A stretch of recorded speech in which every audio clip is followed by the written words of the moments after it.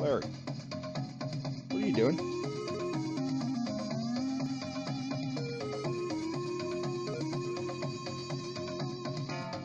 I don't care about no damn YouTube. You got chores to do. Now go do them.